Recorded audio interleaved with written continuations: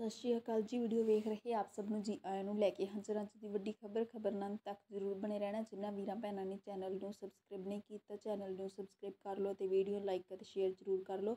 ਸ਼ੁਰੂਆਤ ਕਰਦੇ ਹਾਂ ਅੱਜ ਦੀ ਵੱਡੀ ਖਬਰ ਸਾਹਮਣੇ ਆ ਰਹੀ ਹੈ। ਪੰਜਾਬ ਵਿੱਚ ਨਕਲੀ ਖਾਦ ਸਪਲਾਈ ਕਰਨ ਵਾਲੇ ਖਿਲਾਫ ਵੱਡੀ ਕਾਰਵਾਈ, ਦੋ ਖਾਸ ਕੰਪਨੀਆਂ ਦੇ ਲਾਰ ਲਈ ਰੇਸ ਰੱਦ, ਇਸ ਦਿਨ ਲਾਇਸੈਂਸ ਰੱਦ, ਇਸ ਦੇ ਨਾਲ ਹੀ ਪੰਜਾਬ ਵਿੱਚ ਨਕਲੀ ਖਾਦ ਸਪਲਾਈ ਕਰਨ ਵਾਲੇ ਖਿਲਾਫ ਅੱਜ ਕਾਰਵਾਈ ਕੀਤੀ ਜਾ ਰਹੀ ਹੈ। ਦੋ ਖਾਸ ਕੰਪਨੀਆਂ ਦੇ ਲਾਇਸੈਂਸ ਰੱਦ ਕੀਤੇ ਗਏ ਹਨ। ਚੈਕਿੰਗ ਦੌਰਾਨ